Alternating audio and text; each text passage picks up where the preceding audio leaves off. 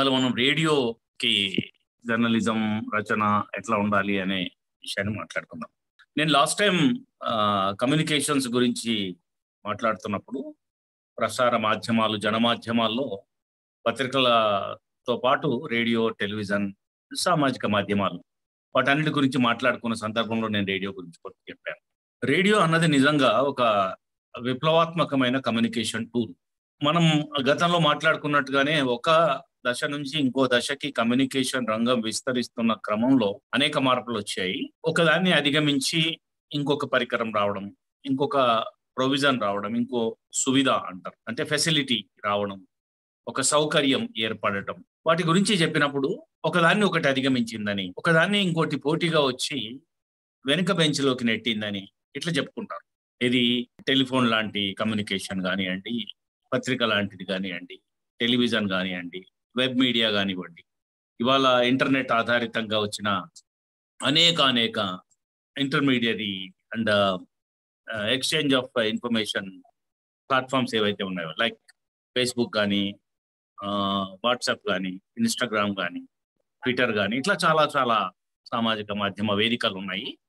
ఇవి ఒకదాన్ని ఇంకొకటి మరుగున పరచడం ఒకదానికి ఇంకొకటి పోటీగా రావడం ఒకదాన్ని ఇంకొకటి మొన్న మనం చూసినాం క్రైసిస్ వచ్చినప్పుడు ఓవర్ నైట్ క్రైసిస్ వచ్చినప్పుడు ఫేస్బుక్కి వాట్సాప్కి పోటీగా ఇంకా అంటే వేరే వేరే ప్రొవిజన్స్ ఏవైతే ఉన్నాయో వాళ్ళ పోటీదారులు ఎవరైతే ఉన్నారో వాళ్ళకి గిరాకీ పెరగడం అట్లాంటివి మనం చూసాం కానీ ఈ కమ్యూనికేషన్ రంగంలో ఉన్న ప్రముఖులు ఎప్పుడు చెప్పే మాట ఏంటంటే రేడియో ఎవరికి పోటీ కాదు దాని ప్రత్యేకత దానికి ఉంటది. సర్వకాల సర్వావస్థల ఎందు రేడియోకి ఉండే ప్రాధాన్యత రేడియోకి ఉంటుంది కనుక రేడియో ఒక ప్రత్యేకమైన కమ్యూనికేషన్ సాధనంగా మనం పరిగణించాలి. ఎందుకంటే దాని నేచర్ అట్లాంటిది. దాని స్వభావం అట్లాంటిది. దాని రీచ్ అట్లాంటిది. దాని సెట్ ఆఫ్ ఏమంటాం మనం లిజనర్స్. మనము కార్యకారణ సంబంధాల గురించి మాట్లాడుకున్నాం కదా మీడియా అనేది ఏం కృషి చేస్తుంది? జర్నలిజం యొక్క పాత్ర ఏంటి అని మాట్లాడుకుంటున్నప్పుడు సమాజంలో పరస్పరం ఆధారితమైన రెండు బృందాల మధ్య సమూహాల మధ్య సంధానకర్త పాత్ర ప్రసార మాధ్యమాలు పనిచేస్తాయని మాట్లాడుకున్నాం కదా. రేడియో కూడా అట్లాంటిదే అన్నప్పుడు రేడియో ఎవరిని అడ్రస్ చేస్తుంది ఎవరిని క్యాటర్ చేస్తుంది ఎవరి అవసరాలు తీరుస్తుంది ఎవరి ప్రయోజనాల కోసం రేడియో పనిచేస్తుంది అంటే శ్రోతల యొక్క అవసరాలు తీరుస్తుంది శ్రోతల యొక్క ప్రయోజనాలు నెరవేరుస్తుంది.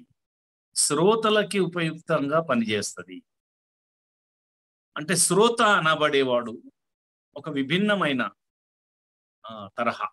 ఇప్పుడు పాఠకుడు ఉన్నాడు. పాఠకుల్లో హెచ్చు తగ్గులు ఉంటాయి. ఉదాహరణకు చెప్తాను. ఒక మాట నేను అనేక అనేక అంశాలు ఉన్నాయి దాంట్లో. వాటన్నిటికీ వెళ్ళే ముందట నేను ఒక అంశంతో మీకు ఎక్స్ప్లెయిన్ చేయడానికి ప్రయత్నం చేస్తాను పత్రిక ఉంది. పత్రికలో రకరకాల ఇంట్రెస్ట్లు ఉంటాయి. రకరకాల స్థాయి భేదాలు ఉంటాయి. ఒకరు సమగ్రంగా అర్థం చేసుకోగలరు ఒకరు ఇంటర్ప్రిటేషన్లు అర్థం చేసుకోగలరు ఒకరు పై పైన చదువుతూ వెళ్ళగలరు. అంటే లిటరసీ లెవెల్ని బట్టి స్థాయిని బట్టి వ్యత్యాసాలు ఉంటాయి. కానీ రేడియో గొప్పతనం ఏంటంటే అది యూనివర్సల్ కమ్యూనికేషన్ అది నీ లిటరసీ స్థాయితోటి నిమిత్తం లేకుండా నీవు నిరక్షరాస్యుడు అయినా కూడా నువ్వు ఎంజాయ్ చేయడానికి వీలుగా నువ్వు ప్రయోజనం పొందడానికి వీలుగా అది సమాచారాన్ని అందజేస్తుంది. ఇప్పుడు పాట్ పత్రిక అయితే పాఠకులు అంటాం టీవీ అయితే ప్రేక్షకులు అంటాం రేడియో అయితే శ్రోతలు అంటాం ఇంకొక ప్రధాన వ్యత్యాసం ఇవన్నీ ఎందుకు మాట్లాడుతున్నాం మనం అని అంటే రేడియోకి రచన మీరు చేస్తారా మేము చేస్తామా sir radio out of context కదా రేడియో గురించి మాట్లాడాల్సిన అవసరం ఇట్లాంటి సందేహాలు కొంతమంది జర్నలిస్టులలో రావచ్చు. కానీ తప్పది. ఆ భావన మీకుంటే మీరు మానేసేయండి. రావాల్సినంత విస్తృత స్థాయిలో రేడియో విస్తరణ జరగలేదు. ఇంకా విస్తారంగా రావాల్సింది ప్రైవేట్ కమ్యూనిటీ రేడియోస్ రావాల్సింది. ఇంకా ఇంకా వస్తే ఇంకా విప్లవాత్మకమైన మార్పు ఉండేది. రాలేదు కానీ ఇప్పుడు వస్తుంది. అదృష్టవశాత్తు అర్బన్ అన్నిట్లలో ఎఫ్ఎం రేడియో మీరు చూస్తున్నారు. డెబ్బై ఎనభై కిలోమీటర్ల ఏరియల్ రేడియేషన్ లోపల విత్ ఇన్ దట్ ప్రాక్సిమిటీలో ప్రత్యేక కార్యక్రమాలు ముఖ్యంగా వినోద సమ విజ్ఞాన ఆధారంగా కార్యక్రమాలు రూపొందిస్తూ ఉన్నారు వాళ్ళు. మీరు మీరు చాలా మంది మీలో చాలా మంది కూడా ఎఫ్ఎం రేడియో రెగ్యులర్గా వింటూ ఉండేవాళ్ళే అని నేను అనుకుంటాను. మీరు వెహికల్లో వెళ్తున్నా కూడా ప్రయాణం చేస్తున్నా కూడా. ఈ ప్రధానమైన వ్యత్యాసం ఏంటి అని అంటే మిగతా వాటిల్లో టీవీ చూడాలన్నా పేపర్ చదవాలన్నా మనం ఈ రెండుతోటే కంపేర్ చేసుకుందాం. మిగతా ఎక్కువ వాటి జోలికి వెళ్ళకుండా radio when compares with news paper and television అన్నప్పుడు టెలివిజన్ కార్యక్రమం చూడాలన్నా ప్రథమ ప్రాధాన్యత కింద చూడాలి. మీరు ఇంకోటి ఏదో చేసుకుంటూ టీవీ చూడడం తక్కువ. చూసినా అంత అటెన్షన్ పే చేయలేరు.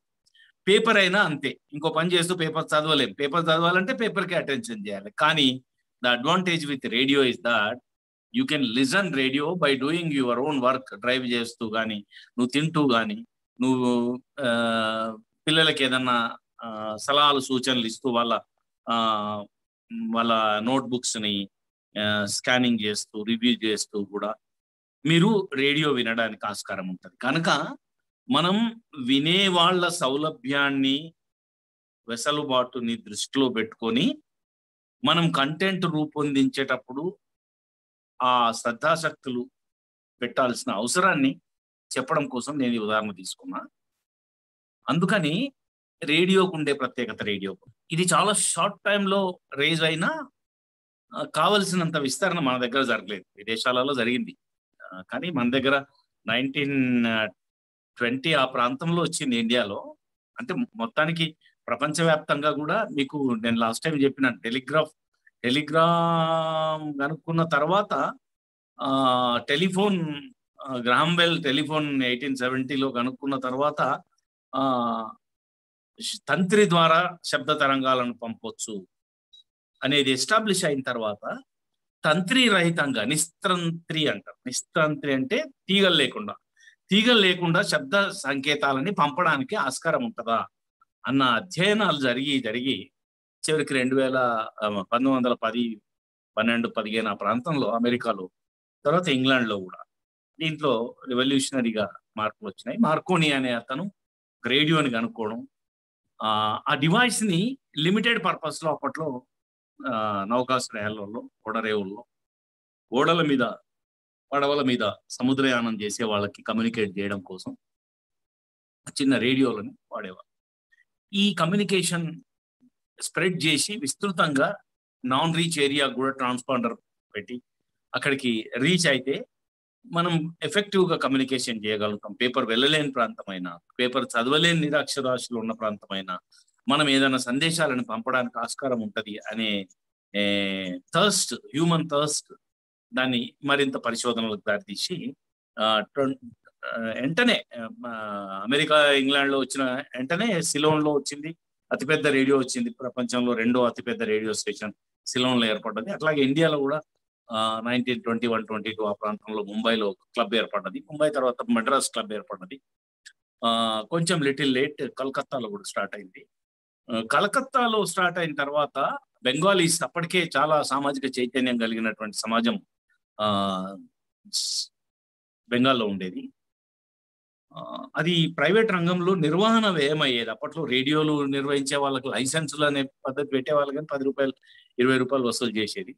ఆ లైసెన్స్ ఫీజు పర్ యాన్యూమ్ సంవత్సరానికి. వాళ్ళ రెవెన్యూ వర్కౌట్ కాలేదు. ఇండియన్ బ్రాడ్కాస్టింగ్ కార్పొరేషన్ అని బెంగ్ ముంబైలో స్టార్ట్ చేసిన వాళ్ళు ఐదారేళ్ళు కూడా నడపలేక వాళ్ళు క్లోజ్ చేయాల్సి వచ్చింది. తర్వాత గవర్నమెంట్ ఆఫ్ ఇండియాలో అది తీసుకున్నారు. నైన్టీన్ థర్టీలో తీసుకొని వాళ్ళు నిర్వహించుతున్న క్రమంలోనే వాళ్ళకు కూడా నిర్వహణ కొంచెం ఇబ్బంది అయి అది క్లోజ్ చేస్తే బెంగాల్ సమాజం ఎందుకు చెప్తున్నానంటే బెంగాల్ సమాజం అప్పుడు చాలా చైతన్యం ఉంది. Popular writers luck Sarat Bankim Chandra Rabindranath Tagore and MN Roy many many many stalwarts of the Indian independence struggle Subhash చంద్రబోస్తో సహా. పెద్ద పెద్ద వాళ్ళు ఉండి అప్పుడు సమాజం చాలా చైతన్యవంతమైన సమాజం ఉండి ఒత్తిడి తీసుకొచ్చి ప్రభుత్వాన్ని మీరు అట్లా ఎట్లా చేస్తారు? యూ టు రన్ ఇట్ అని బలవంత పెట్టి సంవత్సరం లోపట్టే మళ్ళీ రేడియో స్టార్ట్ అయ్యేలాగా చేశారు. తర్వాత ఎప్పుడో నైన్టీన్ థర్టీ ఎయిట్లోనో థర్టీ నైన్లోనో ఈ ఆల్ ఇండియా రేడియో అన్న వర్డ్ కాయిన్ అయింది. తర్వాత మీరు మీకు తర్వాత పరిణామాలు మీకు తెలుసు. ఏది నైన్టీన్ ఫార్టీ సెవెన్లో ఇండిపెండెన్స్ వచ్చినాక ఫార్టీ సెవెన్ ఫార్టీ ఎయిట్ నుంచి కొంచెం శ్రద్ధ పెంచారు భారత ప్రభుత్వం కూడా రేడియోని విస్తారంగా స్టేషన్లు పెంచింది. మల్టిపుల్ లాంగ్వేజెస్ పదకొండు పద- పన్నెండు భాషల్లోకి విస్తరించడం అనేక రేడియో స్టేషన్లు ఏర్పాటు చేయడం అట్లా విస్తరించి కమ్యూనికేషన్ని పబ్లిక్లోకి తీసుకెళ్ళింది. తీసుకెళ్ళిన తర్వాత అది ఒకే రకమైన మూస పద్ధతి సమాచారం మాత్రమే వస్తుంది. అట్లా కాకుండా ఇంకా సమాజాలు మరింత అభివృద్ధి చెందడానికి కమ్యూనిటీ పరమైన ఇన్ఫర్మేషన్ ఇంకా విస్తృతంగా రావాలంటే ఇంకా కొన్ని మార్పులు తీసుకురావాలి. ఆ, టెలివిజన్ని రేడియోని వేరుపరచాలి. ఇట్లా ఎప్పుడు ఇందిరాగాంధీ ఇన్ఫర్మేషన్ అండ్ బ్రాడ్కాస్టింగ్ మినిస్టర్గా ఉన్నప్పుడు nineteen sixty three sixty four sixty five ఆ ప్రాంతంలో చందా కమిటీ అని ఒక కమిటీ వేసినారు ఆమె. ఆ కొన్ని రికమెండేషన్స్ వచ్చినాయి. వాటిని పెద్దగా పట్టించుకోలేదు. నైన్టీన్ నైన్టీ సెవెంటీ లో ఆ, ఏది మన ఎమర్జెన్సీ వచ్చినప్పుడు మిస్యూజ్ ఆఫ్ రేడియో బాగా జరిగింది అని అప్పట్లో ఈ ఇరవై సూత్రాల పథకం అని లేకుంటే సంజయ్ గాంధీ ఐదు సూత్రాల పథకం అని వాటినే ఎక్కువ రుద్దుతున్నారు జనాల మీద అని. జనాలకి ఉపయోగం కంటే ఆ, ప్రభుత్వానికే ఎక్కువ ఉపయోగపడుతుంది. దీంట్లో మార్పులు రావాలి అని ఎంత మొత్తుకున్నా పబ్లిక్ అంటే సివిల్ సొసైటీ నుంచి ఎంత ఒత్తిడి వచ్చినా వాటిని పెద్దగా ఖాతరు చేయక ప్రభుత్వం ఏకపక్షంగా వెళ్ళింది అనేది బాగా ప్రజల్లోకి నాటుకోవడం తోటి నైన్టీన్ సెవెంటీ సెవెన్లో జనతా గవర్నమెంట్ వచ్చినాక వాళ్ళు వస్తూ రావడం తోటే ఒక సీనియర్ జర్నలిస్ట్ వర్గీస్ నేతృత్వంలో ఒక వర్గీస్ కమిటీ కాన్స్టిట్యూట్ చేసి వాటి రికమెండేషన్ తీసుకున్నారు. దాని పరిణామంగా రెండు సపరేట్ కావడము ఎకనామిక్ దాని ఆర్థిక స్తోమత కోసం వాణిజ్య ప్రకటనలు వివిధ భారతి ఏర్పడడం వివిధ భారతిలో వాణిజ్య కార్యక్రమాల్ని ప్రమోట్ చేయడం కోసం వినోదం కార్యక్రమాల్ని పెంచి పాటల్ని అప్పటికే రేడియో సిలో నుంచి పాటలు వచ్చేవి ఆ సినిమా పాటలు మనకున్న ఏకైక వినోదం కనుక సినిమాలోంచి బిట్స్ తీసుకొని సినిమా సాంగ్స్ చేస్తూ అట్లా కమర్షియల్ ఆస్పెక్ట్లో వచ్చి సెల్ఫ్ సఫిషియన్సీ ఇన్ ఫినాన్సెస్ వచ్చిన తర్వాత ఇంకా తర్వాత ప్రసార భారతి రికమెండేషన్ ప్రసార భారతి ఇండిపెండెంట్ ఇవాటికి కూడా ప్రసార భారతి నేతృత్వంలో స్వయం ప్రతిపత్తి కలిగిన సంస్థగా పనిచేస్తూ కూడా ఇప్పుడు ఆల్ ఇండియా రేడియో హెడ్ చేస్తున్న ఎన్వి రెడ్డి గారు తెలుగు ఆయన.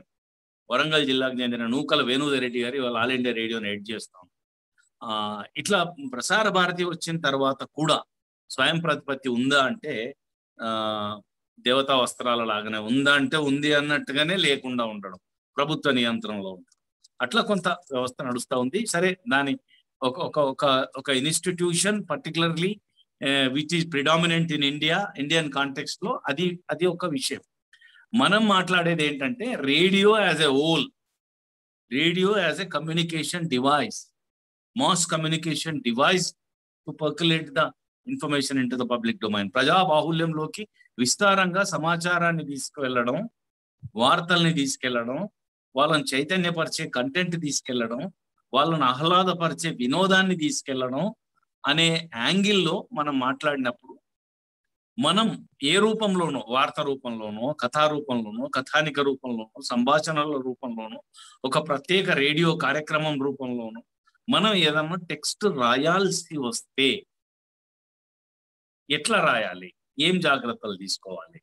మనకు మౌలికమైన అవగాహన ఎట్లా ఉండాలి? ఏ ఏ అంశాల పట్ల మనకు ఒక సమ్యక్ దృష్టి సమగ్ర అవగాహన ఉంటే మనం రేడియోకి రాసేటప్పుడు మేము రేడియోకి రాయాల్సిన అవసరం ఎందుకు వస్తుంది సార్? అని అనుకోవచ్చు. మీలో చాలా మంది జర్నలిస్ట్ అట్లా అనుకోకండి. ఆ, మీరు రాయాల్సి రావచ్చు. మీ దగ్గరలో ఉన్న ఏ విజయవాడ విశాఖపట్నం తిరుపతి కర్నూలు కడప ఇట్లాంటి వాటిలో ఉన్న రేడియో స్టేషన్స్ కూడా మీరు కనుక కొంచెం లైజాలు ఏర్పాటు చేసుకుంటే వాళ్ళకి అవసరమైన స్క్రిప్ట్లు రాయడము కిట్ కిట్స్ రాయడము వాళ్ళకి అవసరమైన ఆ, చిన్న చిన్న సంభాషణలు రాయడము లేదు వాళ్ళకి అవసరమైన చిన్న చిన్న స్కెచ్లు రాయడము డ్రాఫ్ట్ రాయడము. ఇట్లా ఏదో అవసరం ఏర్పడవచ్చు. మీరు జర్నలిస్టుగా సమగ్రమైన నైపుణ్యాల్ని అలవర్చుకుంటే అది ఏ మీడియాకి రాస్తాం ఏ రూపంలో రాస్తాం ఎప్పుడు రాస్తాం ఎందుకు రాస్తాం అన్నది సెకండరీ అది తర్వాత ఎప్పుడైనా అవసరం ఏర్పడవచ్చు. కానీ అవసరం ఏర్పడ్డప్పుడు మీరు నైపుణ్యాల కోసం వెతికితే రావు. కనుక ముందే కలిగి ఉండాలి. ముందే కలిగి ఉండాలి అని అంటే మనం ఆ, మాధ్యమానికి ఇతర మాధ్యమాలకి ఉన్న ప్రధానమైన వ్యత్యాసాలు ఏంటి వాటి కోసం వీటి కోసం రాయడంలో మళ్ళీ వ్యత్యాసాలు ఉంటాయా రాయడం ఏదైనా ఒకటే కదా. పత్రికా రచన అంటే లేకుంటే జర్నలిజం అంటే మీడియా రైటింగ్ అంటే ఒకటే కదా. మీడియా రైటింగ్లో మాకు తెలిసినాక పేపర్కైనా రాస్తాం దేనికైనా రాస్తాం అని అనుకుంటే తప్పది. ఆ దేనికి రాసే రాత విధానం దానికి ఉంటుంది. ఎందుకంటే రేడియోలో వచ్చే కంటెంట్ ఏది? ఆ రైటింగ్ ఫర్ రీడింగ్ పర్పస్ కాదు. ఒకటి గుర్తుపెట్టుకోండి. మౌలికమైన ఫండమెంటల్ ఇష్యూ ఇది not for reading purpose it is for listening purpose అని మనసులో అనుకుంటే మీరు రాసేటప్పుడు కలం పర్ఫెక్ట్గా అట్లాగే వెళ్తుంది. ఎందుకంటున్నంటే ఇప్పుడు ఫర్ ఎగ్జాంపుల్ మీకు ఒక ఉదాహరణ చెప్తా. ఒక భారీ వర్షాలు పడ్డాయి. నిన్న మొన్న పడ్డట్టుగా. ఇది కేరళలోను ఛత్తీ ముందు ఉత్తరాఖండ్లోను ఇంకెక్కడ? ఆ, సిక్కింలోను భారీ వర్షాలు పడ్డాయి గత మూడు నాలుగు రోజులు. ఈ భారీ వర్షాలు పడ్డప్పుడు మనం రేడియోలో రేడియో మీద ఆధారపడతాం. వాతావరణం గురించి చెప్తారు వాళ్ళు. కమ్యూనికేషన్స్ ఎట్లా అయినాయి? రోడ్డు వ్యవస్థ ఎట్లా ఉంది? నేను పోవచ్చా? పోకూడదా? ఇక్కడ నుంచి నేను పలానా ఊరికి పోవాలి. పోవడానికి సాహసం చేయాలన్నా చేయకూడదా? అంటే నీకు రేపు వచ్చే రేడియో కంటే కొన్నిసార్లు టీవీ ప్రసారాలు ముఖ్యంగా టీవీ ప్రసారాలు బాగా దెబ్బతింటాయి. గుర్తుపెట్టుకోండి. పెద్ద పెద్ద తుఫాన్లు వచ్చినప్పుడు ఇట్లాంటి ప్రకృతి విపత్తులు వచ్చినప్పుడు కమ్యూనికేషన్స్ పోతాయి ఎలక్ట్రిసిటీ పోతుంది పవర్ కట్ అవుతుంది టీవీ రాదు పేపర్ రాదు. ఎందుకంటే రోడ్స్ డ్యామేజ్ అయితే గ్రామీణ ప్రాంతాలకి ఆ, బస్సులో లేకుంటే లారీలో కార్లో ఏ వాహనాలలో అయితే న్యూస్ పేపర్ బండిల్స్ వస్తాయో వాటి రవాణా కూడా దెబ్బతింటది కనుక మనకు పేపర్ రాదు. పేపర్ రాదు టీవీ రాదు.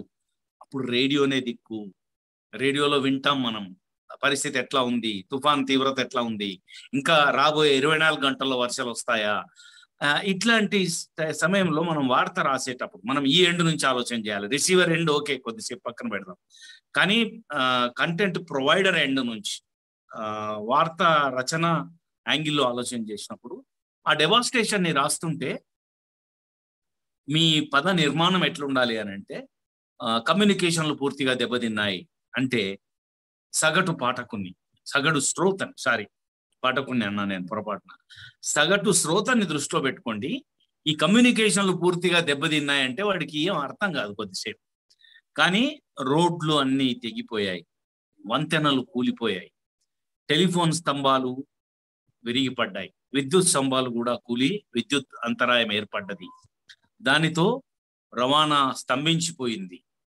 ఎక్కడికక్కడ సమాచారం వెళ్ళటం లేదు. విద్యుత్తు లేకపోవడంతో మనిషి దైనందిన జీవితం కకా వికలైంది. ఇట్లాంటి పదాలతోటి వాక్యాలు నిర్మాణం చేస్తే ఆ శ్రోత అన పడేవాణి ముందర ఒక దృశ్యం ఆవిష్కృతమవుతుంది ఒక పదచిత్రం ఆవిష్కృతమవుతుంది ఓహో రోడ్లు పోయినాయా? వంతెనలు కూలినాయా? స్తంభాలు కూడా పడిపోయినాయి? ఇంకా ఇంకా ఏమొస్తుంది మనకు? టీవీ ఎప్పుడు వస్తుంది నో ఇవాళ టీవీ రావడానికి ఆస్కారం లేదు. పేపర్ రానే రాదు. ఒక ఒక స్థిరమైన అభిప్రాయానికి వాడు రావడానికి వాడు సంపూర్ణ అవగాహన స్థాయి పెరగడానికి ఆస్కారం ఉంటుంది కనుక మనం ఆ రేడియో రచన చేసేటప్పుడు శ్రోతని దృష్టిలో పెట్టుకోవాలి. శ్రోతకు కనబడదు వినబడుతుంటది. కనుక వినబడే స్థాయిలోనే మనం పదచిత్రాల్ని ఆవిష్కరించే విధంగా సంక్లిష్ట వాక్య నిర్మాణం లేకుండా సరళమైన వాక్య నిర్మాణంతో తేలికైన మాటల్ని వాడుతూ ఆ, సులభ శైలిలో గ్రహించేటటువంటి ఎందుకంటే ఇంకా మనం ఇంతకుముందు మాట్లాడుకున్నాం నిరక్షరాస్యులు కూడా రేడియో రేడియో శ్రోతలు కావచ్చు. వాళ్ళు వేరే పనుల్లో ఉండి కూడా ఒక చెవి ఇటువైపు వేసి వింటూ ఉండవచ్చు. కనుక నువ్వు రాసేటప్పుడు సులభమైన శైలిలో సరళమైన శైలిలో రాస్తే వాడికి తేలిగ్గా అర్థమవుతుంది. వాడు దానికోసం కుస్తీ పట్టాల్సిన అవసరం. నువ్వు సుదీర్ఘమైన ఆ, సంక్లిష్టమైన సమాసభూయిష్టమైన వాక్య నిర్మాణం చేస్తే వాడు కన్ఫ్యూజ్ కావచ్చు. ఒకటి. ఇంకొకటి వెనుదిరిగే అవకాశం ఉండదు శ్రోతకి. కానీ పాఠకుడికి ఉంటది. పాఠకుడు కావాలంటే ఇదేంటో అర్థం కాలేదు అంటే మళ్ళీ వెనక్కి వెళ్ళి ఆ రెండు పేరాలు మూడు పేరాలు చదువుకొని ఓహో ఇదా ఆయన చెప్పదలుచుకున్న కవి హృదయం అని నింపాదిగా ఆలోచన చేసి అర్థం చేసుకోవడానికి ఆస్కారం ఉంటది. కానీ ఇది క్షణం గడిచిందా ఆ క్షణం జారిపోయినట్టే లెక్క. ఇంకా మళ్ళీ వెనక్కి వెళ్ళలేడు. వెనక్కి వెళ్ళి నువ్వు చెప్పింది ఏంటో వినడానికి ఆస్కారం లేదు గనక.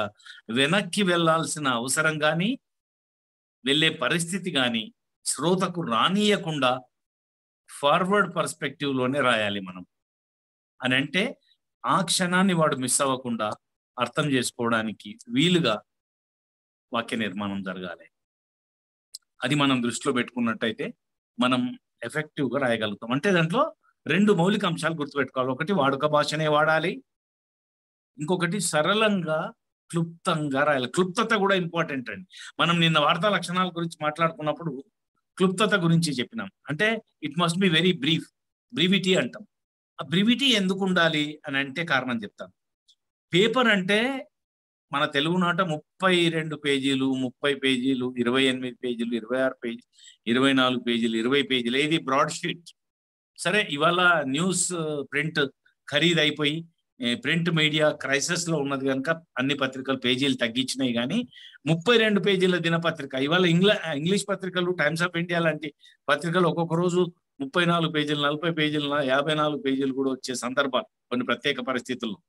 సరే అడ్వర్టైజ్మెంట్ కంటెంట్ కూడా ఎక్కువగా ఉంటుంది కానీ కోసం వాళ్ళు అట్లా చేస్తారు అది వేరే విషయం.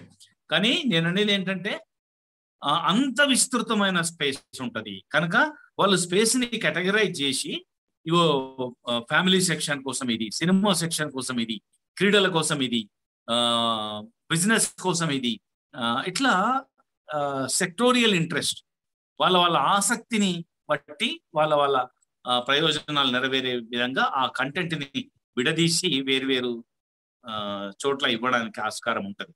కానీ రేడియో ది యూనివర్సల్ స్పేస్. ఎవరి కోసమైనా ఆ స్పేసే ఇవ్వాలి. పది నిమిషాలు వార్తల కోసం ఇచ్చినామంటే పది నిమిషాలు వార్తల కోసం. తర్వాత ఒక అరగంట ఎంటర్టైన్మెంట్ అంటే అరగంట ఎంటర్టైన్మెంట్ ఎవరి కోసమైనా నిరక్షరాస్యం నుంచి పోస్ట్ గ్రాడ్యుయేట్ వరకు మహా ఇంటలెక్చువల్ వరకు ఎవరి కోసమైనా కూడా ఒకే యూనివర్సల్ స్పేస్ ఉంటుంది. దాన్ని రచనా సమయంలో దృష్టిలో పెట్టుకోవాలి.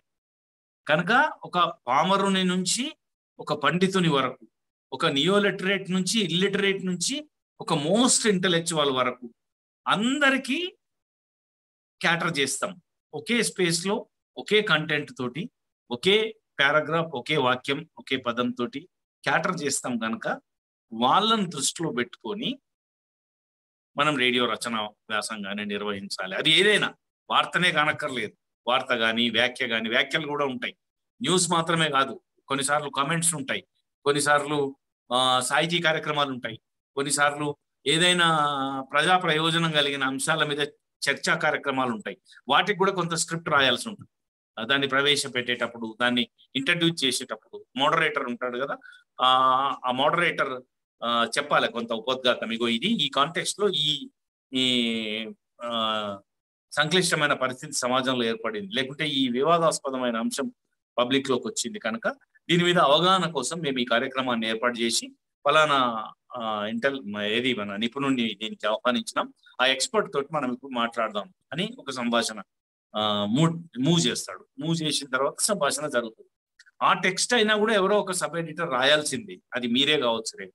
అది రాసేటప్పుడు కూడా మీరు ఈ విషయాలన్నీ మౌలికమైన విషయాలన్నీ శ్రోత శ్రోత ప్రత్యేకత శ్రోతలో ఉన్న స్థాయి భేదాలు వాటన్నిటిని దృష్టిలో పెట్టుకుంటే ఆ టెక్స్ట్ రాసేటప్పుడు కూడా మీరు కన్ఫ్యూజ్ కావారు రేడియోకి ఇది అనేది మీ మైండ్లో ఉంటే మీరు రాసే తీరు ఆ సులభ వాక్యాలు సరళమైన భాష ముఖ్యంగా వాడుక భాష అక్కడ ఉండే ప్రాంతీయ భాష. ఇప్పుడు ప్రాంతీయ భాష ఎందుకు అంటున్నానంటే ఇప్పుడు మీరు విజయవాడ రేడియో స్టేషన్లో వచ్చి తెలంగాణ పశ్చిమ మాండలికాన్ని పెడితే అక్కడ అది ఆకట్టుకోవచ్చు.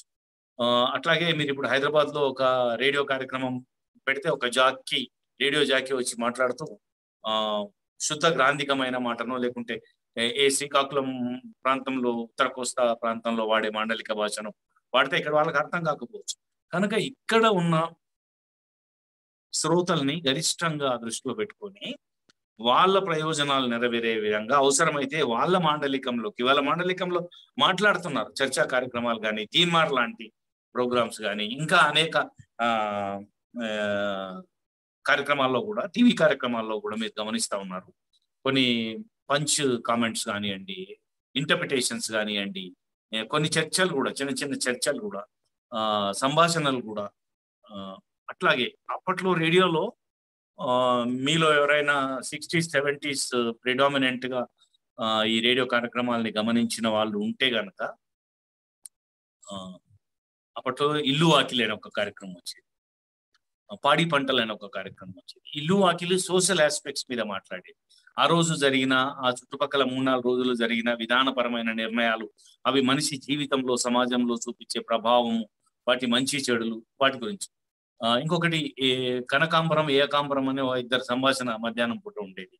ఆ రేడియో అక్కయ్య రేడియో అన్నయ్య వీళ్ళంతా కూడా ఎల్లయ్య మామ ఎల్లయ్య మామ అని సాయంత్రం ఆ, వార్తల ముందట ఒక ఐదు నిమిషాలు వచ్చి చాలా ఆసక్తికరంగా ఆ, సుబోధకంగా. అంటే ఏం సంక్లిష్టత లేకుండా ఏమి కసరత్తు చేయాల్సిన పని లేకుండా అరటి పండు ఒలిచిపెట్టిన చందంగా అది పబ్లిక్ మనసులోకి ఆలోచనలోకి పెదడులోకి వెళ్ళిపోయింది ఆ- ఆ వెళ్ళిపోవడంలో గొప్పతనం ఎక్కడ ఉంటదంటే స్క్రిప్ట్లో ఉంటది.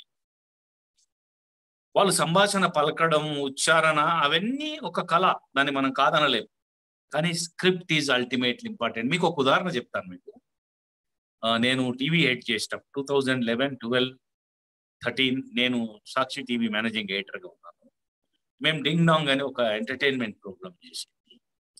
ధర్మవరం సుబ్రహ్మణ్యం గారు ఆ కార్యక్రమాన్ని ప్రజెంట్ చేసేవారు. దురదృష్టవశాత్తు వి లాస్ట్ ధర్మవరం సుబ్రహ్మణ్యం గారు. కానీ ఎంత గొప్పగా ఉండేది అంటే ఆ వాయిస్ ఆ పిచ్ ఆ మాడ్యులేషన్ ఆ అనుకరణ అదంతా గొప్పగా ఉండేది. అప్పట్లో మంత్రి శంకర్రావు గారిని శంకరన్న అది కాదే శంకరన్న నువ్వు ఒక మాట ఇది శంకరన్న అని ఎంత పబ్లిక్లోకి దూసుకొని పోయేది ఆ కంటెంట్ అంటే దాంట్లో గొప్పతనం చాలా మంది గ్రహించని విషయం ఏంటంటే ఆ స్క్రిప్ట్ మేకింగ్ అనేది చాలా గొప్పగా ఉంటుంది. మీరు ఆ బిత్తర్ సత్తి కార్యక్రమాన్ని కూడా ఎంజాయ్ చేయడంలో మీకు కేవలం సత్తి అనే ఆర్టిస్ట్ సత్య పాత్ర చేసిన ఆర్టిస్ట్ ఇప్పుడు సాక్షి గరం గరం వార్తల్లో ఉన్నాడు. ఆయన నైపుణ్యం ఒక ఎత్తు అయితే దానికి అవసరమైన స్క్రిప్ట్ రూపొందించడం కూడా అంతే. కామెడీ షో ఎప్పుడు క్లిక్ కావాలన్నా స్క్రిప్ట్లో గొప్పతనం ఉంటుంది. ఇప్పుడు అట్లాగే ఈ సంభాషణలు కూడా ఈ స్క్రిప్ట్ ఆధారితంగానే వస్తాయి. ఆ స్క్రిప్ట్ రాసేటప్పుడు మనం స్థానిక పరిస్థితుల్ని స్థానిక ప్రజల అవగాహన స్థాయిని వాళ్ళకు తెలిసిన భాషా మెలకువల్ని వాళ్ళకు తెలిసిన భాషా లోతుల్ని అక్కడ ఉండేటటువంటి నుడికారాల్ని అక్కడ ఉండేటటువంటి భాష ఇతర సొబగుల్ని సామెతల్ని అన్నిటిని వాటిలో ఇన్కార్పొరేట్ చేసి అక్కడి సంభాషణ శైలిని గనక దాంట్లోకి తీసుకురాగలిగితే అది ఆకట్టుకుంటది అత్యధిక మందిని. దాని ద్వారా మనం ఏ సందేశం పంపాలన్నా ఫర్ ఎగ్జాంపుల్ కోవిడ్ ఉందండి. కోవిడ్ కాలంలో తీసుకోవాల్సిన కనీస జాగ్రత్తలు ఏంటి కోవిడ్ సమయంలో ఎవరికి వాళ్ళుగా పాటించాల్సిన విధి విధానాలు ఏంటి అనేది ఒక నియమబద్ధమైన ప్రణాళిక ప్రకారం ప్రభుత్వం ప్రకటించిన ప్రకటనని వెల్లడి చేస్తే పబ్లిక్లోకి వెళ్ళిన దానికన్నా ఇట్లాంటి రేడియో సంక్షిప్త సంభాషణల రూపంలోనూ ఒక ఒక ఒక ఒక స్కిట్ రూపంలోనూ అట్లా మీరు రూపొందించి కనుక పబ్లిక్లోకి తీసుకెళ్తే దాని ఎఫెక్ట్ ఎక్కువ దాని ప్రభావం ఎక్కువ అది మనిషిలో తీసుకొచ్చే పరివర్తన ఎక్కువ అది ఫాలో అయ్యేలా చేసే ప్రభావం ఎక్కువ. కనుక మనం అట్లాంటి వాటిని రాసే నైపుణ్యాలని కూడా అలవర్చుకోవాలి. అందుకోసం ఇవన్నీ మనం మాట్లాడాలి. మీకు గుర్తుందో లేదో రేడియోలో ఆ సాహిత్య కార్యక్రమాలు కూడా రావురు భరద్వాజ లాంటి వాళ్ళు డాక్టర్ మకరాల రామారెడ్డి లాంటి వాళ్ళు. ఎంత శ్రద్ధగా వినేది అంటే మీరు ఆశ్చర్యపోతారు. నేను నేను ఒక కార్యక్రమం విన్నా nineteen eighty six. Six eighty five eighty six ఆ ప్రాంతంలో ఆ డాక్టర్ ముక్కరాల రామారెడ్డి గారు ఉదయం పూట ఒక రేడియో కార్యక్రమంలో చాటు పద్యాల గురించి చెప్తున్నారు. చాటు పద్యాలు అనేవి ప్రజా జీవితంలో ఎంత పాత్ర వహించినాయి అవి ఎవరు రాసినారో ఎప్పుడు రాసినారో ఎందుకు రాసినారో కూడా తెలియదు. కానీ ఆ చాటు పద్యాలు ప్రజల్లోకి అంత గొప్పగా దూసుకొని పోతాయి. అవి స్థిరంగా ఉంటాయి. అవి మనుషుల యొక్క ప్రభావాన్ని కూడా మనుషుల యొక్క జీవన శైలిని కూడా మనుషుల యొక్క ఆలోచన ధోరణిని కూడా చాలా పక్కడబందిగా ప్రభావితం చేస్తాయి అని చెప్తూ ఒక మూడు పద్యాలు చెప్పాడు. రియల్లీ యు బిలీవ్ మీ నేను కాగితం తీసుకోలేదు కలం తీసుకోలేదు ఆ పద్యాలు రాసుకోలేదు. కానీ నా మైండ్లో అట్లా కూర్చుండిపోయాయి నేను ఇప్పటికీ చెప్పగలుగుతాను ఆ పద్యాలు. ఒక పద్యం ఏంటంటే అల్లుడు అభిమానస్తుడు అల్లునికి పని చెప్పకూడదు అది చెప్పినచో చిల్లర మూడే పనులట. చూడండి అల్లుని గురించి చెప్తాడు. అల్లుడు అభిమానస్తుడు అల్లునికి పని చెప్పకూడదు అది చెప్పినచో చిల్లర మూడే పనులట. ఇల్లలు కను పేడదీయ ఇస్తరులెత్తన్ అన్నాడు. ఎవడో రాసినాడు చాటుకాయ. అది మకరాల రామారెడ్డి గారు రేడియోలో చెప్పినారు. అంటే ఆ రోజుల్లో అల్లుళ్ళు అత్తవారిళ్ళకి వచ్చి సుదీర్ఘకాలం తిష్ట వేసి పొమ్మన్నా కూడా పోని పరిస్థితులు ఉన్న రోజుల్లో ఇప్పటికీ మనకు పత్రికలలో కార్టూన్లు వస్తాయి అల్లుళ్ళ ముందట పండుగలకి ప్రతి దసరా దీపావళి పండుగ ముందట అట్లాంటిదే ఈ ఈ చాటుపద్యం. అల్లుడు అభిమానస్తుడు అల్లునికి పని చెప్పకూడదు. అది చెప్పిన సో చిల్లర మూడే పనులట. ఇల్లలు కను పేడు తీయ ఇస్తరు లెత్తను. వాడు వెళ్ళిపోతాడు. ఈ పని చెప్తే తెల్లారే వాడు ఆ ఇల్లు వదిలేసి వెళ్ళిపోతాడు. వెళ్ళిపోవడం ఇక్కడ లక్ష్యం. అట్లా అట్లా సామాజిక ఆ జీవన శైలిని ప్రభావితం చేసే గొప్ప గొప్ప అంశాలను కూడా చిన్న చిన్న కార్యక్రమాల రూపంలో రేడియోలో ఇవ్వడానికి ఆస్కారం ఉంటది.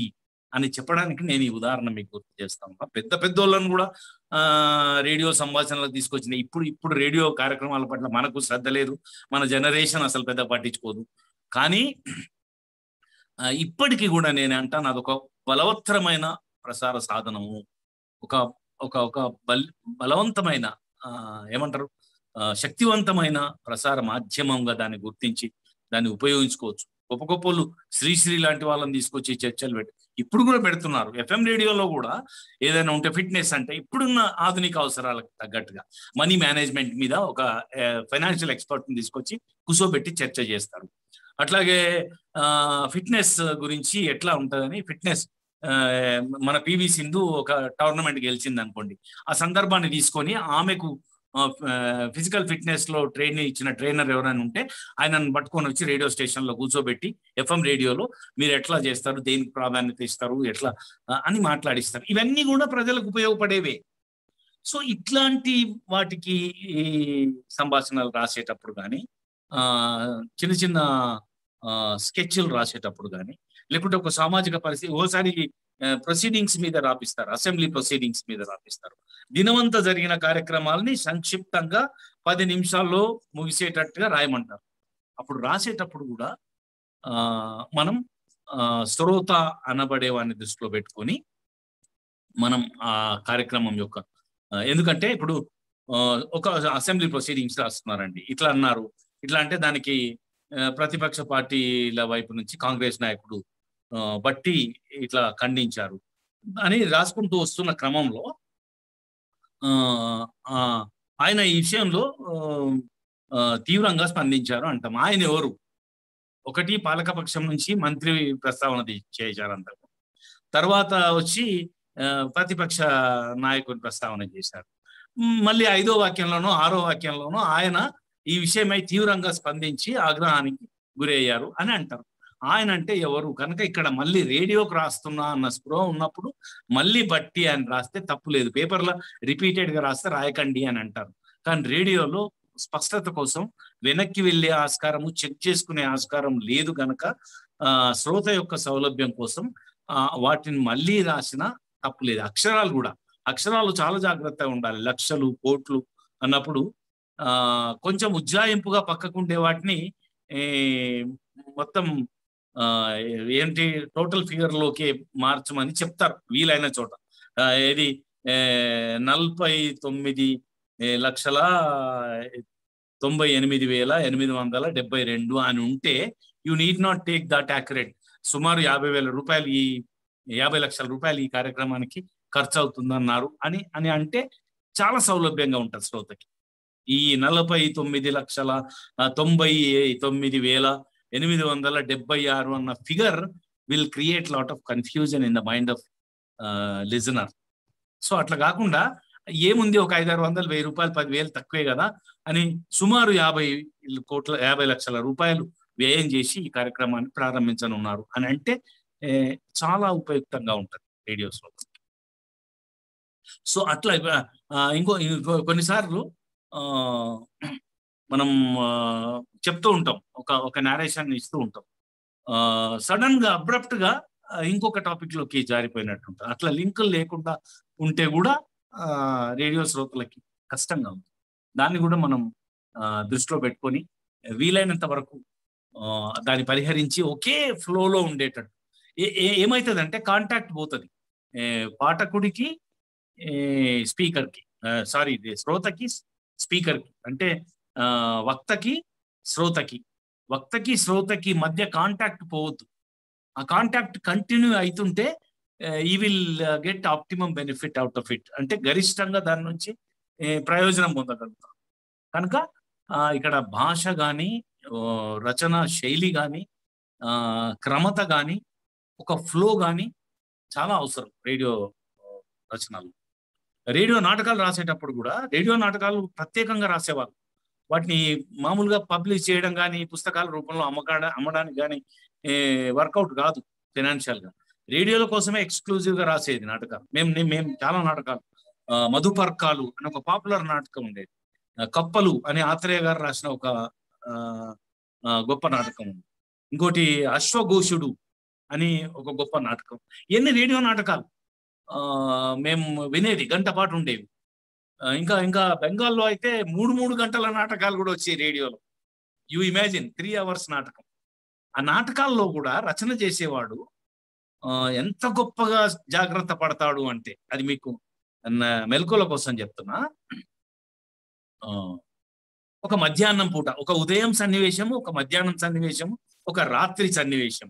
అని నువ్వు సన్నివేశంగా చూపెట్టడానికి వేదిక మీద ఆస్కారం ఉంటుంది. కానీ రేడియోలో ఆస్కారం ఉండదు కదా. దాన్ని మళ్ళీ ఎటు తిరిగి సంభాషణలోకి తీసుకురావాలి? రచయితకి ఆ స్పృహ ఉండాలి. ఉదయం అయిపోయింది ఇప్పుడు మధ్యాహ్నంకి వచ్చినాం. మధ్యాహ్నం అన్నప్పుడు వాడు అవసరం లేకపోయినా అక్కడ ఏమంటాడంటే ఆ, ఏం శాంత? అంత అత్యవసరం? ఇంత ఎండలో పడి వచ్చావు? అంటాడు. ఇప్పుడు శాంత ఏం కావాలి నీకు అనేది అక్కడ ఉద్దేశం. కానీ ఇది అది మధ్యాహ్నం అన్న స్పృహ శ్రోతకి కలిగించడం కోసం రచయిత ఏమంటాడు? ఏం శాంత? ఇంత ఎండలో పడి వచ్చావు? ఏమిటి అంత అత్యవసరం? అంటాడు. అంటే ఓహో మధ్యాహ్నం అనే స్పృహ మనకు అట్లా అట్లా ఆ ఏ విషయానికైనా ఆ ఆ సందర్భాన్ని ఇదిగో ఇది తీసుకో అంటుంటారు నాటకంలో. ఆ ఏది తీసుకుంటున్నాడు అనేది రవీంద్ర భారతిలో అయితే మనకు కనిపిస్తుంది. కానీ రేడియోకి వచ్చేసరికి ఏమంటే ఇదిగో ఈ టేప్ రికార్డర్ తీసుకో మీ అన్నయ్య దీనికోసమే గంట నుంచి నిరీక్షిస్తున్నాడు. అని టేప్ రికార్డ్ అన్న మాటని అక్కడ పెడతారు. అట్లాగే మనము ఏ ఒక పరిణామం గురించో ఏ ఒక సంఘటన గురించో ఏ ఒక సన్నివేశం గురించో రేడియోకి రాస్తున్నాము అన్నప్పుడు వాడికి ఏమి కనిపించడం లేదు. వాడు నూటికి నూరు శాతం బ్లైండ్ పుట్టివాడు వింటున్నాడు. వానికి నేను గరిష్టంగా ఎంత సమాచారం ఏ రూపంలో ఇవ్వగలను అన్నది మన మనసులో పెట్టు ఆ అది అంత ప్రభావవంతంగా మీకు ఆనందో బ్రహ్మ అని దూరదర్శన్లోను ఈ రేడియో కూడా ఒక కామెడీ షో వచ్చేది నవ్వులు జోక్స్. దీంట్లో వినోదం అనేది ఎన్ని రూపాల్లో ఉండేది అంటే ఒక్కొక్కసారి సీరియస్ అంశాల్లో కూడా నేను మీకు ఒక ఉదాహరణ చెప్తాను. అప్పట్లో విజయవాడ రేడియో స్టేషన్ నుంచి ఆ ఒక రోజు ప్రశ్న జవాబు కార్యక్రమంలో శ్రీశ్రీ గారు పార్టిసిపేట్ చేశారు. శ్రీశ్రీ గారు ప్రశ్నలకి సమాధానం చెప్తున్నారు. శ్రోతల యొక్క ప్రశ్నలకి. ఆ ప్రశ్నల్లో ఒక ఆయన ఎవరో నేను ఇట్లా ఫలానా ఏలూరు నుంచి మాట్లాడుతున్నాను. ఆ, దాంట్లో కూడా పేరు చెప్పుకొని నేను ఇట్లా ఫలానా పిచ్చేశ్వరరావు ఏలూరు నుంచి మాట్లాడుతున్నా అండి. నాకు చాలా కాలం నుంచి ఒక సందేహం ఉంది. అది ఎవరిని అడిగినా తీల్చే పరిస్థితి లేదు. స్వయంగా శ్రీశ్రీ గారే తీర్చగలరు ఆ సందేహాన్ని. అదృష్టవశాత్తు ఇవాళ మీరు రేడియోలో ప్రసంగానికి వచ్చినారు. ఆ, రేడియోలో ప్రశ్న జవాబుల్లో పాల్గొంటున్నారు కనుక మీరు చెప్తేనే దానికి సంతృప్తికరమైన ఆ, సమాధానం ఉంటది అని నేను ఈ ప్రశ్న అడుగుతున్నాను. దయచేసి మీరు ఆ, ఇబ్బంది పడకుండా ఏం అనుకోకుండా ఆ, నా అన్యదా భావించకుండా నాకు సమాధానం చెప్పాలంటే అడగండి మీరు ప్రశ్న అడగండి అని సౌమ్యంగా శ్రీశ్రీ గారు మీరు ప్రశ్న అడగండి అన్నాడు. అంటే ఆయన ప్రశ్న అడిగాడు. మీ మహాప్రస్థానం పుస్తకం అండి. దాంట్లో ఉన్న కవితలండి చాలా గొప్పగా ఉన్నాయండి. నేను ఒప్పుకుంటాను. కానీ నాకెందుకో అనిపిస్తుంది మహాప్రస్థానం కంటే కూడా ఆ పుస్తకానికి చలం గారు రాసిన యోగ్యతా పత్రమే చాలా గొప్పది అని నేను అభిప్రాయపడతాను. మీరేమంటారు? శ్రీశ్రీని అడిగి. అంటే మీరు సార్థక నామధేయులు అనుకుంటాను ఏమనుకుంటాను? అన్న అంట శ్రీ ఆయన పేరు పిచ్చేశ్వరరావు. ఆయన గుర్తుపెట్టుకున్నాడు మనం చాలా సందర్భాల్లో గుర్తుపెట్టుకోము కానీ ఆయన నేను ఏలూరు నుంచి పిచ్చేశ్వరరావుని మాట్లాడుతున్నాను అని అంటే ఆయన సటిల్గా ఎట్లా హాస్యం పండించేలాగా సమాధానం ఇచ్చిన అంటే రేడియోలో ఆ ఏమనుకుంటారు అంటే ఏమనుకుంటాను? మీరు సార్థకనామదేవి అనుకుంటాను అన్నాడు. అట్లా అట్లా హాస్యం పండించేవాళ్ళు. చాలా సంభాషణలు హాస్యం కలిగించినట్టే కలిగించి మనకి ఎంతో కొంత జీవిత అవసరాలను తీర్చే జ్ఞానబోధ కూడా చేసే మాత్రమైన వెసలుబాటు ఈ రేడియో. అయితే పరిణామ క్రమంలో రేడియో చాలా మార్పులకు గురైంది. ఇవాళ ఎఫ్ఎం రేడియో వచ్చింది. విత్ ఇన్ ద విసినిటీ చాలా తక్కువ ఫ్రీక్వెన్సీలు కార్యక్రమాలు నిర్వహిస్తే అవి నిరాఘాటంగా మనకేం ఖర్చు లేదు. ఖర్చు లేకుండా హాయిగా వెళ్ళిపోద్ది మనం ఆ, వేరే పనులు చేసుకుంటూ కూడా రేడియో వినడానికి ఆస్కారం ఉంది. ఆ, అది దానివల్ల మనకి ఇప్పుడు ఈ మానసిక నిపుణులు ఏదైతే చెప్తున్నారో రే నిరంతరం టీవీ చూడడం వల్ల ఆ, ఇట్లా పాడైతాయి కళ్ళు పాడైతాయి. అట్లాగే ఆ, మన ఏది మన కాన్షియస్నెస్ కూడా దెబ్బతింటది. మన ఏకాగ్రత దెబ్బతింటది. మనం స్ట్రెస్కు కూడా గురి అవుతాం ఇట్లా చాలా చాలా కాంపోనెంట్స్ చెప్తున్నారు. ముఖ్యంగా ఎడ్యుకేషన్లో ఉన్న వాళ్ళు నిరంతరం టీవీ కార్యక్రమాలు చూడడం వల్ల వచ్చే అడ్వాన్స్ ఇంపాక్ట్ ఏవో చెప్తున్నారు. రీడింగ్ విషయంలో కూడా కొన్ని అభ్యంతరాలు వ్యక్తం చేస్తారు కొంతమంది. అది ఎంతవరకు కరెక్ట్ సైంటిఫిక్గా సంబంధించిన శాస్త్ర పరిజ్ఞానం ఉన్న వాళ్ళు చెప్పాలి. కానీ రేడియో వల్ల నాకు తెలిసి ఏ రకమైన అడ్వాన్స్ ఇంపాక్ట్ లేదు. మనం హాయిగా మనం కోరుకున్నంత వాల్యూమ్లో దూరంగా పెట్టుకొని విని విననట్టు కొంత లీకేజెస్ ఉన్నా కొంత ఫిల్పరేజెస్ ఉన్నా ఆ, నష్టం లేదు. కనుక రేడియోను అలవర్చుకోవడం రేడియో ద్వారా జ్ఞానం సంపాదించడం అనేది ప్రజలకు విస్తృత స్థాయిలో ప్రజలకు అవసరం ఉంది ప్రజలకు ఉపయోగం ఉంది. అట్లాగే వాటికి రాసే నైపుణ్యాన్ని పెంచుకుంటే మనం రేపు ఇంకా ఇంకా విస్తృత స్థాయిలో కనుక రేడియో కమ్యూనిటీ రేడియోలు కూడా వస్తే మనకు ప్రత్యామ్నాయ ఉపాధి అవకాశాల కింద మనం వాటికి రాసే ఆస్కారం ఉంటుంది. మనకు ఒకవేళ ఉపాధితోటి రాబడితోటి నిమిత్తం లేకుండా కూడా మనకి ఇంట్రెస్ట్ ఉంది మనం ఎక్కువ మందికి రీచ్ కావాలి మన పేరు వెళ్ళాలి అనే కొంతమంది జర్నలిస్టులకు ఉండే కీర్తి కాంక్ష అనేది సంతృప్తి పరచుకోవడానికి కూడా ఇది ఒక ఉపకరణంగా సాధనంగా ఉంటుంది కనుక రేడియోలకు రాయడం అనేది అలవర్చుకొని తరచూ ప్రయత్నం చేయండి. మీరు పంపిస్తూ ఉండండి. పంపిస్తా ఉంటే వాళ్ళు ఒకసారి కాకుంటే ఒకసారి అయినా వాటిని వాడుకోవడానికి. వాళ్ళ దగ్గర కార్యక్రమాల సరళి ఎట్లా ఉందో చూడండి. వాళ్ళు కూడా చాలా జాగ్రత్తగా కొన్ని నిబంధనల్ని నియమావళిని పాటిస్తూ ఉంటారు.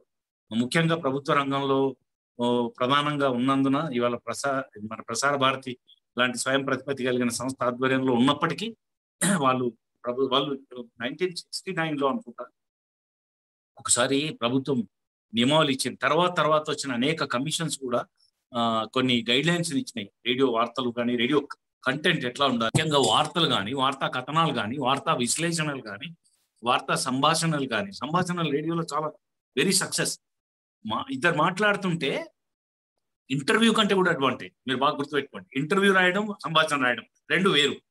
ఇంటర్వ్యూలోనేమో ఒక వ్యక్తి ఒక నిపుణుణ్ణి ప్రశ్నలు వేసి సమాధానాలు రాబట్టడం ద్వారా జ్ఞాన వ్యాప్తికి ప్రయత్నం చేస్తాడు ఇంటర్వ్యూలో కానీ సంభాషణల్లో ఏంటంటే గొప్పతనం ఇంటర్వ్యూ కంటే సంభాషణలే చాలా ఉపయుక్తమైన మోడల్ ప్రజలకి. ఎందుకంటే సంభాషణల్లో ఇద్దరు సహజంగా మాట్లాడుతున్నట్టుగా ఉంటది. ఇద్దరు కూడా జ్ఞానాన్ని పంచడానికి ఆస్కారం ఉంటుంది.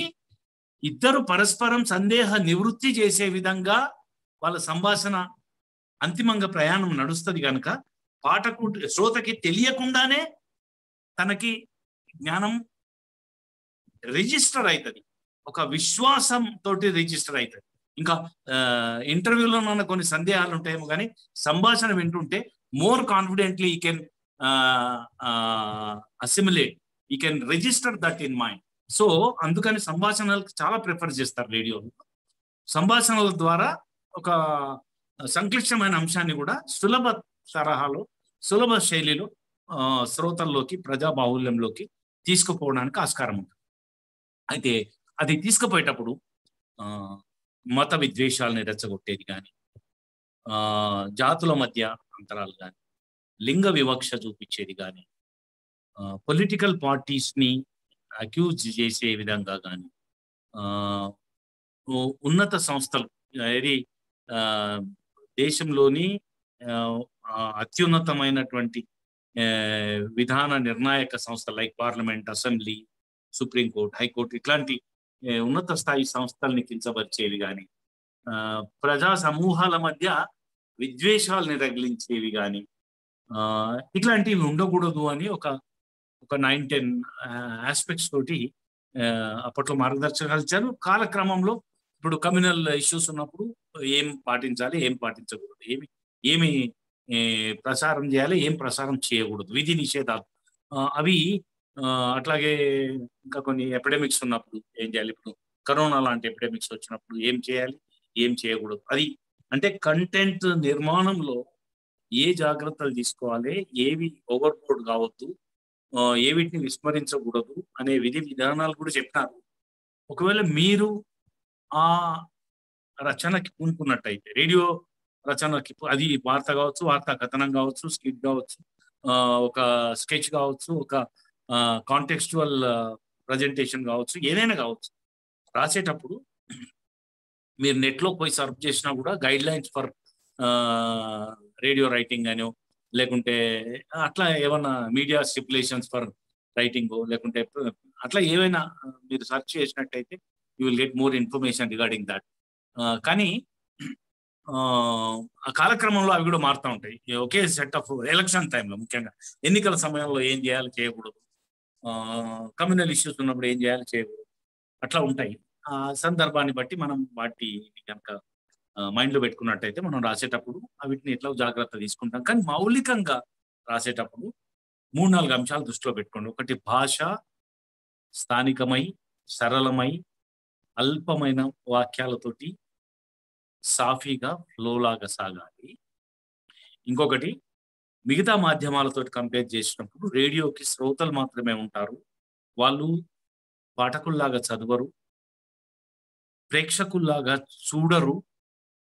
వాళ్ళు కేవలం శ్రోతల్లాగా వింటారు కనుక వినడానికి ఉపయుక్తమైన తరహాలో మన రైటింగ్స్ ఉండాలి అనేది ఒకటి. ఇంకొకటి అనేక స్థాయిలకు చెందిన వాళ్ళు రేడియో శ్రోతలుగా ఉంటారు కనుక స్థాయి భేదాలను దృష్టిలో పెట్టుకొని అత్యధికులకి ఉపయోగపడే విధంగా మనం కంటెంట్ నిర్మాణం చేయాలి అనే ఈ మూడు నాలుగు మౌలికమైన విషయాలను మైండ్లో పెట్టుకొని వాటిని మనం మన అలవాటు సంస్కృతిలో భాగం చేసుకొని మనం కలం పట్టుకున్నట్టయితే కర్సర్ కదిలించినట్టయితే స్క్రీన్ మీద మన రచన ఏదైతే రేడియో కోసం చేస్తామో రచన చాలా ఎఫెక్టివ్గా అత్యధికుల్ని ఆకట్టుకోవడానికి ఆస్కారం ఉంటుంది.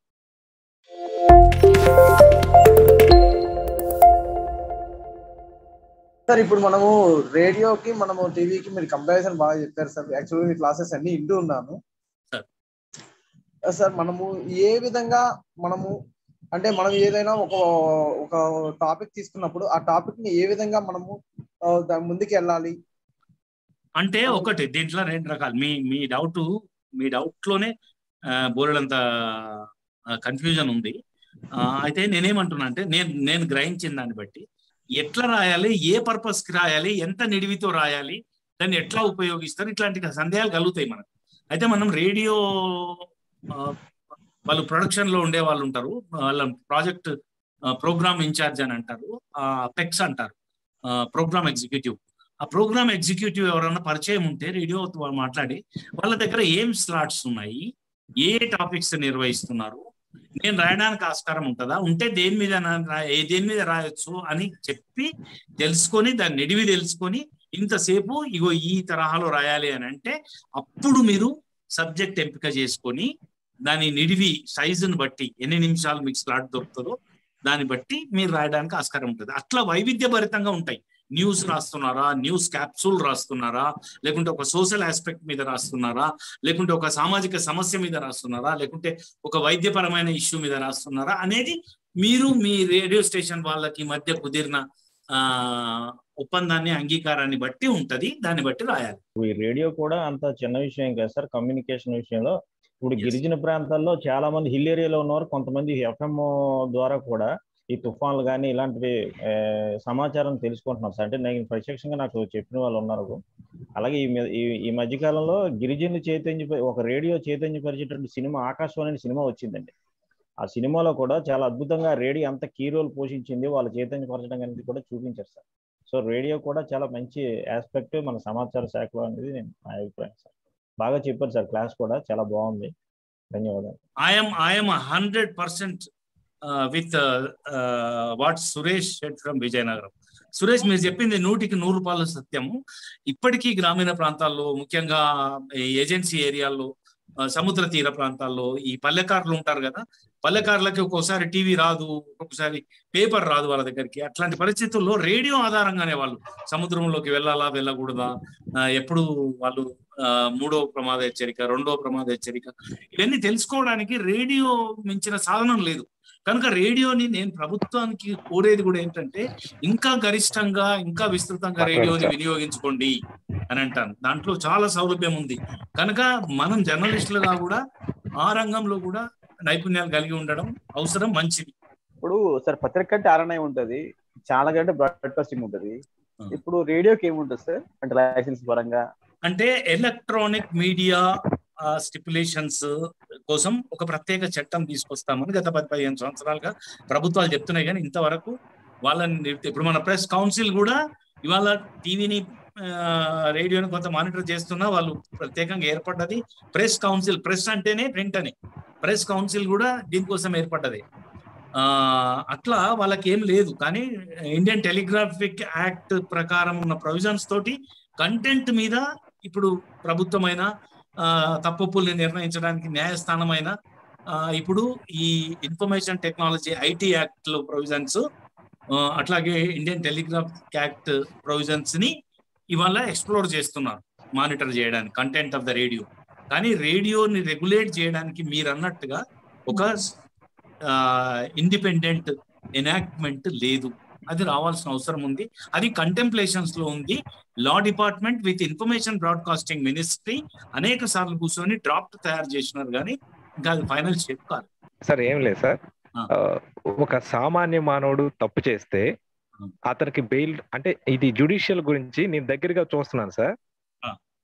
నిన్న కాక మొన్న ఒక తెలుగుదేశం పార్టీ అధికార ప్రతినిధి ఒక సీఎం గారిని ఏదో అసంబద్ధంగా మాట్లాడాడని నాలుగు సెక్షన్లు కట్టాడు sir. One fifty three A five not five two three fifty three five not four one twenty one not two B. ఐదు సెక్షన్లు కట్టి ఇరవయో తారీఖు రాత్రిపూట అరెస్ట్ చేస్తే అతనికి విజయవాడ స్థానిక కోర్టు పద్నాలుగు రోజులు రిమాండ్ విధించింది సార్. కానీ వెంటనే నిన్న ఇరవై మూడవ తారీఖున హైకోర్టు బెయిల్ ఇచ్చేసింది సార్. అదే సామాన్య మానవుడికి సామాన్య ప్రజలకి ఇది ఇది వర్తించదా? మనం తమరు అన్నారు ఫస్ట్ క్లాస్లో మనం ని మనం ప్రశ్నించజాలం అన్నారు. సమాజంలో ఒకరికి ఒక న్యాయం ఒకరికి వేరే వాళ్ళకి ఇంకో న్యాయం అయితే సామాన్య మానవుడి పరిస్థితి ఏంటి? మన దాంట్లో మన రోల్ ఏంటి? అయితే మీడియా ఒక స్పృహతోటి ఉండాలి. Judiciary Indian judiciary from bottom level court to highest supreme court వరకు ఉన్న న్యాయ వ్యవస్థ రెండు ప్రధానమైన విధి విధుల నిర్వహణ కోసం పనిచేస్తుంది. ఒకటి. ఏంటంటే enforcing the law and ensuring the practice of law. దేశంలో న్యాయం చట్టం అనేది అమలు కావడాన్ని ఈ అంటే రాజ్యాంగం లోబడి చట్టాలు చట్టాలకు లోబడి రూల్స్ రూల్స్కు లోబడి విధి విధానాలు ఆ, అనేది అమలు అవడానికి పరిశీలిస్తుంది ఇంకొకటి ఎక్కడైనా తప్పులు జరిగితే నేరాలు జరిగితే ఆ నేరాల నిరూపణ శిక్షలు విధించడం అనే ఈ రెండు ప్రధానమైన కర్తవ్యాల కోసం న్యాయస్థానం పనిచేస్తుంది. మీరు అన్నట్టు ఒకరి మీద అభియోగాలు మోపి కేసులు బుక్ చేసి అనేక సెక్షన్లు పెట్టి అరెస్ట్ చేసినప్పుడు బెయిల్ ఇవ్వాలా? ఇవ్వకూడదు? అనేది జుడిషియరీ డిస్క్రిమినేషన్ బట్టి ఉంటది. అది డిస్క్రిమినేషన్ కూడా జడ్జి ఇష్ట ఇష్టాల ప్రకారము లేకుంటే ఆ బెయిల్ కోరుతున్న వ్యక్తి స్థాయి భేదాలతో నిమిత్తం ఉండదు.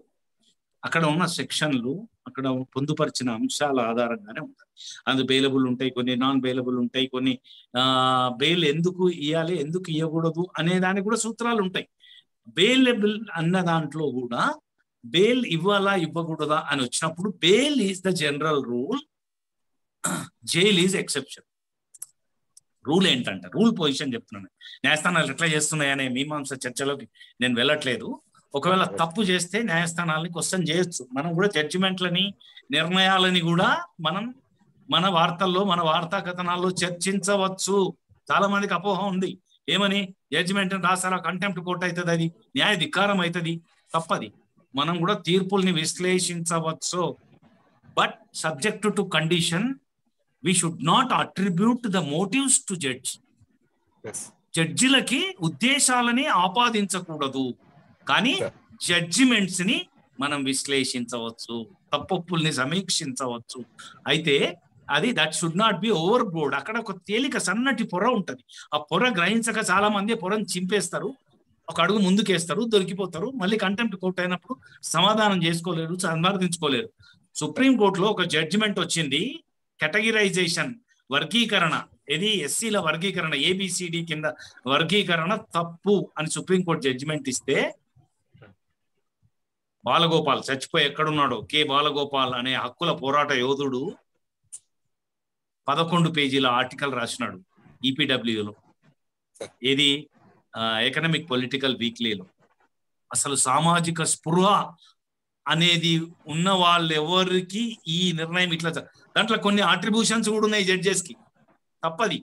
అయినా కూడా ఏ జుడిషియరీలో ఏ వ్యక్తికి ధైర్యం కాలేదు దాన్ని ఛాలెంజ్ చేసి కంటెంప్ట్ కింద తీసుకోవడానికి. అట్లా ఫ్యాక్ట్స్ తోటి ఎస్టాబ్లిష్ చేసినారు కనుక ఈ కేసులో కానీ ఇంకో కేసులో కానీ బెయిల్ ఇవ్వడం ఇవ్వకపోవడం అనేది అక్కడ ఉన్న కేసుల ఆధారంగా వ్యవహరించిన పనుల ఆధారంగా ఎందుకంటే రెండు సందర్భాల్లో జైలు డినై బెయిల్ డినై చేసి జైల్లో ఉంచుతారండి జ్యుడిషియల్ కస్టడీలో ఎందుకంటే ఒకటి ఆ నేరస్తుడు ఇదే తప్పిదాన్ని మళ్ళీ చేయడానికి ఆస్కారం ఉన్నప్పుడు. ఇప్పుడు ఆర్యన్ ఖాన్ విషయంలో కోర్టు చెప్పింది మళ్ళీ చేస్తాడేమో అని. ఒక ఈ ఏ నిందితుడికి అయితే బెయిల్ నిరాకరిస్తున్నామో ఆ తప్పిదాన్ని మళ్ళీ రిపీట్ చేయడానికి ఆస్కారం ఉన్నప్పుడు బెయిల్ ఇయ్యరు. ఇంకొకటి బయటకు వెళ్ళి ఆయన పై నేరాన్ని నిరూపించడానికి జరుగుతున్న ప్రక్రియని భంగం చేసే విధంగా సాక్ష్యాల్ని తారుమారు చేస్తాడు అనుకున్నప్పుడు బెయిల్ ఇయ్యరు. ఈ రెండు సందర్భాల్లో బెయిల్ నిరాకరిస్తుంది జుడిషియరీ తన విక్ష విచక్షణ అధికారంతో చేస్తుంది. ప్రొవిజన్స్ ఉంటాయి. ఒకే ప్రొవిజన్ ఒకసారి నో అనడానికి ఒకసారి ఎస్ అనడానికి తేడా ఎందుకు కారణం ఏంటి సార్ అని మీరు అడగొస్తున్నాను. అంటే ఒకే అంశం ఒకటే ప్రొవిజన్ ఒకటే అంశం ఉంటది దాంట్లో. ఒకే రకమైన నేరం ఉంటుంది ఇద్దరి విషయంలో. ఒకరికి ఎస్ అంటారు ఒకరికి నో అంటారు. ఎందుకు అంటే వాళ్ళు వాళ్ళు తిరిగి నేరం చేయడానికి గల ఆస్కారము వాళ్ళు వాళ్ళు నేరాలని సాక్ష్యాలని తారుమారు చేయడానికి గల ఆస్కారం ఉన్నప్పుడు ఆ ఆస్కారాన్ని అడ్డుకోవడానికి బెయిల్ని నిరాకరించి జ్యుడిషియల్ రిమాండ్లో ఉండమంటది. అట్లా ఉంటది. కనుక కేసుల వారీగా మీ దగ్గర సమాచారం ఉండి తప్పైతే ప్రీవియస్ ప్రొసీడింగ్స్ ఉంటే ఇట్లాగే వ్యవహరించినప్పుడు బెయిల్ ఇచ్చినారా నిరాకరించినారా అనే గతపు ఎగ్జాంపుల్స్ మీ దగ్గర విత్ ఏఐఆర్ నంబర్స్ మీ దగ్గర డేటా ఉంటే నెట్లో యూ కెన్ గెట్ సింపులీ. నేను నేను నేను I'm I'm not simply making a comment with loose. I'm enrolled advocate in bar council I did my LLB nineteen eighty six and I also held position of quasi judicial అంటే ఒక పాక్షిక న్యాయస్థానం లాంటి information కమిషన్లో ఐదేళ్ళు ఉన్నాను కనుక చెప్తున్నాను. బెయిల్ ఇవ్వడాన్ని ఇవ్వకపోవడాన్ని కేవలం పై పై చూపులతోటి మనం వ్యాఖ్య చేయడం సరికాదు. ఏ కాంటెక్స్ట్లో బెయిల్ గ్రాంట్ చేసినారు ఏ కాంటెక్స్ట్లో బెయిల్ నిరాకరించినారు అని లోతుపాతుల్లోకి వెళ్ళి మనం ఆ కారణాలను చూసి తప్పైతే జ్యుడిషియరీ నిర్ణయాన్ని కూడా ఎక్స్పోజ్ చేయొచ్చు. గత పది రోజులు బట్టి దిలీప్ రెడ్డి సార్ చెప్పే క్లాసులకి ఇన్స్పైర్ అయ్యి ఆయనకి ఒక అభిమాని మారాం. మరి ధన్యవాదాలు. ఆ దిలీప్ రెడ్డి సార్ని ఎవరన్నా ఏదనంటే మా మనోభావాలు దెబ్బతిని మరి చాలా కొన్ని వేల మంది ఇప్పుడు ఈ క్లాస్లో ఉన్న మూడు వందల మందే కాదు సార్ మన ప్రెస్ అకాడమీ వాళ్ళు యూట్యూబ్లో పెడుతున్నారు. చాలా మంది మీ యూట్యూబ్లో ప్రసంగాలు వింటారు మీకు ఆకర్షణ అవుతారు మిమ్మల్ని ఎవరన్నా ఏదంటే వాళ్ళ మనోభావాలు దెబ్బతింటి మరి ఆటలను పరుగులో తీసుకోవాల్సిన బాధ్యత కూడా పెద్దవాళ్ళకు ఉంది కదా సార్ మరి అలాంటి అలా ఇంకా ఎప్పుడు సార్ ఇది ఇంకా ఈ సమస్య ఫుల్ స్టాప్ ఉండదా? లేదు మనము సమాజము షార్పెన్ అవుతుందండి పబ్లిక్ అల్టిమేట్ డెమోక్రసీలో ప్రజలు చూస్తున్నారు గమనిస్తున్నారు. ఎంత నీచంగా ఎంత దారుణంగా రాజకీయ భాష ఉంది. వీళ్ళు ఇంకా దేవదారణానికి లేనంత బాటంకి వెళ్ళిపోతున్నారు అది ప్రజలు గ్రహిస్తున్నారు. ప్రజలు నిర్ణయించాల్సిన సమయం వచ్చినప్పుడు ఇంకా మనం ఎవరో మాట్లాడాల్సిన అవసరం లేదు. Let the people decide people are understanding slowly let them decide let them నిర్ణయం అనేది విచక్షణ పూరితంగా నిర్ణయించినప్పుడు అంత మంచిది.